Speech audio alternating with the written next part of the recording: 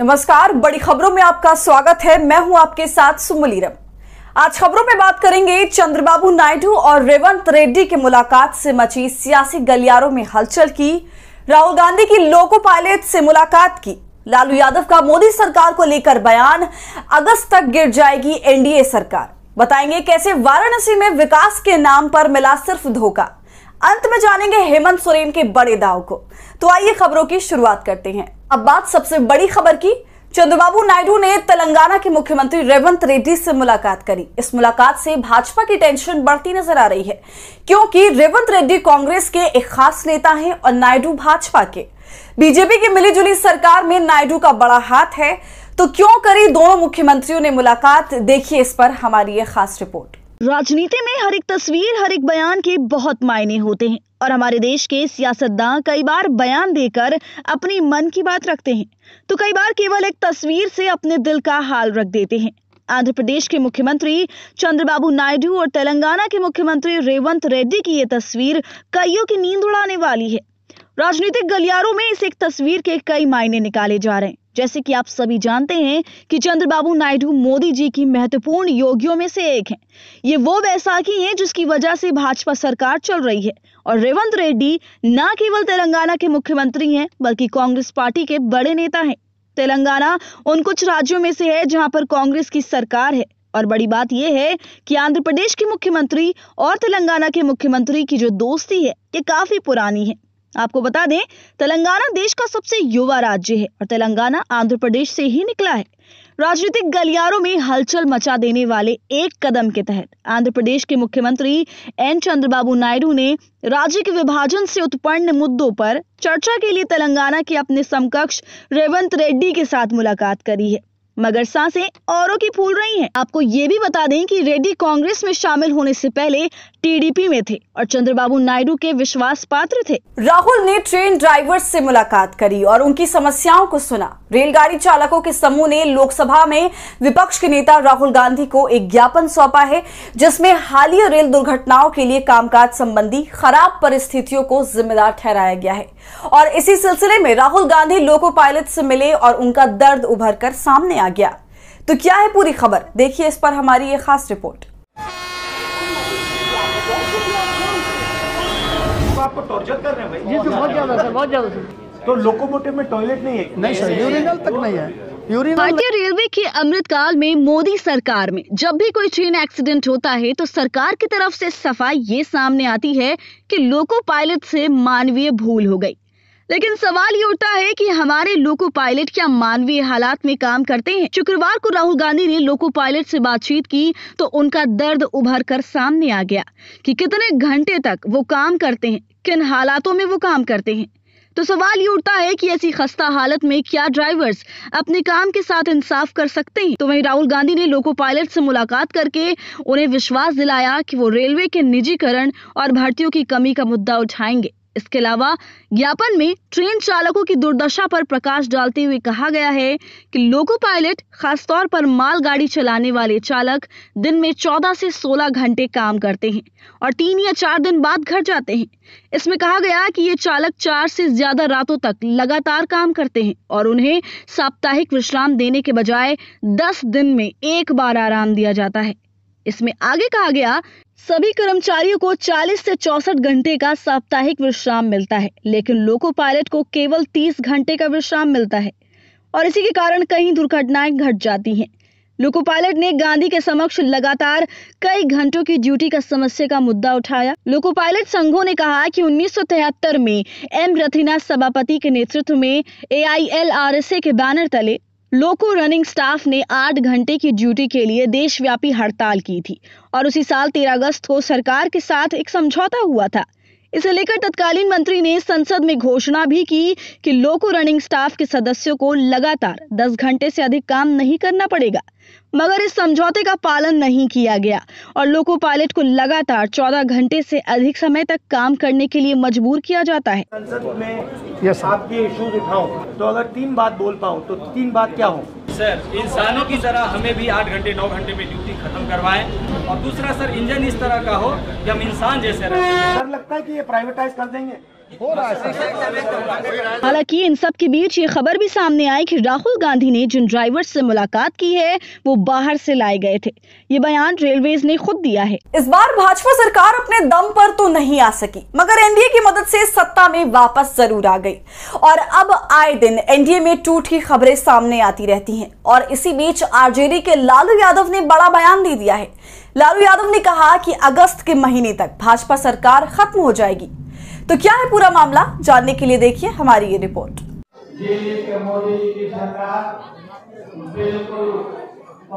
है। सकता है कि अगस्त तक अगस्त राष्ट्रीय जनता दल प्रमुख लालू प्रसाद ने भविष्यवाणी की कि केंद्र में प्रधानमंत्री नरेंद्र मोदी के नेतृत्व वाली राष्ट्रीय जनतांत्रिक गठबंधन सरकार अगस्त तक गिर सकती है और चुनाव कभी भी हो सकते हैं। बिहार के पूर्व मुख्यमंत्री लालू प्रसाद यादव कहते हैं, मैं सभी पार्टी कार्यकर्ताओं से तैयार रहने की अपील करता हूँ, क्योंकि चुनाव कभी भी हो सकते हैं। दिल्ली में मोदी की सरकार बहुत कमज़ोर है और अगस्त तक गिर सकती है। जब से मोदी ने तीसरी बार प्रधानमंत्री की शपथ ली, तभी से पार्टी में अंदरूनी कलह चल रही है। कुछ नेता नाराज़ हैं तो कुछ पार्टी छोड़कर जा रहे हैं तो कुछ मनपसंद औहदा ना मिलने पर चिड़े हुए हैं। ऐसे में कांग्रेस और बाकी सभी विपक्षी पार्टियाँ भी भाजपा पर मोर्चा खोले हुए हैं।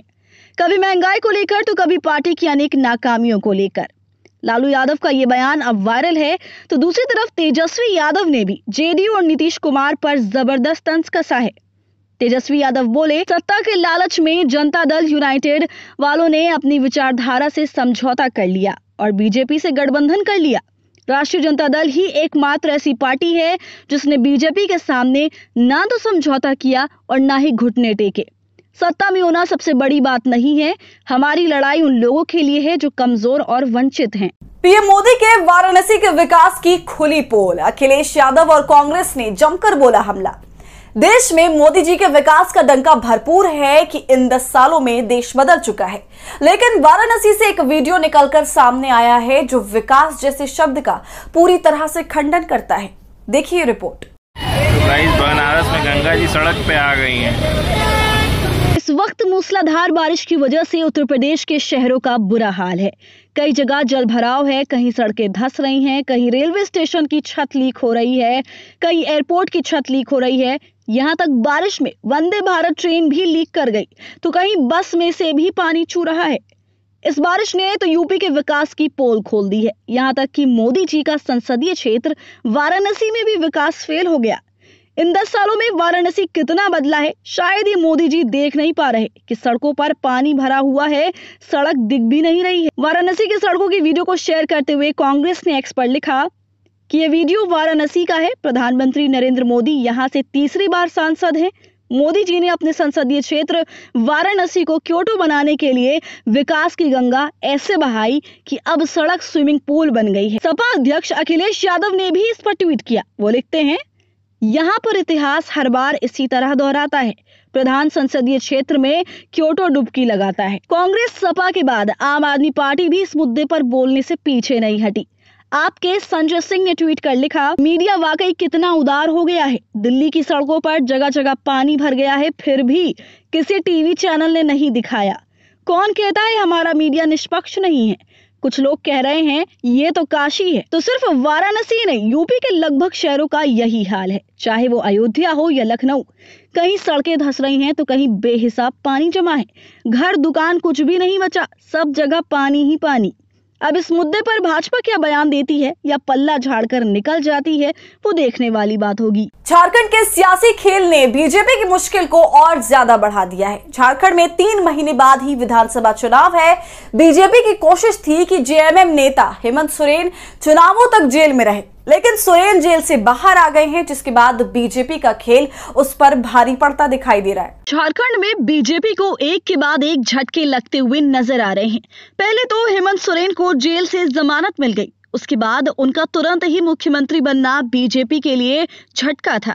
और अब इंडिया गठबंधन ने एक और झटका देने की तैयारी कर ली। सोमवार को झारखंड विधानसभा में मुख्यमंत्री हेमंत सोरेन फ्लोर टेस्ट देंगे और अपनी बहुमत साबित करेंगे।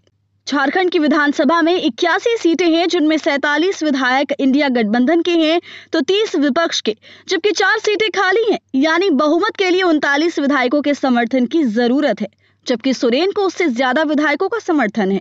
हेमंत सोरेन के पास पहले से ही पूर्ण बहुमत है, इस बीच खबर ये भी आ रही है कि बीजेपी के कुछ विधायक पाला बदल सकते हैं। बीजेपी के कुछ विधायक हेमंत सोरेन के संपर्क में बताए जा रहे हैं। ऐसे में जहाँ राज्य में इंडिया गठबंधन मज़बूत होता दिख रहा है तो वहीं बीजेपी लगातार कमज़ोर होती नज़र आ रही है। झारखंड में बीजेपी की सारी कोशिशें फेल होती नज़र आ रही हैं और सदन में बहुमत साबित करने के बाद हेमंत सोरेन की सरकार सुचारू रूप से कार्यभार संभाल लेगी। राज्य में आगामी विधानसभा चुनाव से पहले सोरेन का जेल से बाहर आना और वापस से सत्ता पर काबिज हो जाना बीजेपी के लिए अच्छे संकेत नहीं माने जा रहे। सोरेन एक बार फिर प्रदेश में इंडिया की पकड़ मज़बूत करने में अहम भूमिका निभाते हुए नज़र आ सकते हैं। मतलब बीजेपी के लिए विधानसभा चुनाव भी आसान नहीं होने वाले हैं। तो आपका इस वीडियो पर क्या है कहना, हमें कमेंट कर ज़रूर बताइए। वीडियो पसंद आई हो तो इसे लाइक और शेयर करें। और सभी अपडेट्स पाने के लिए खबर अड्डा को यूट्यूब पर सब्सक्राइब कर लीजिए।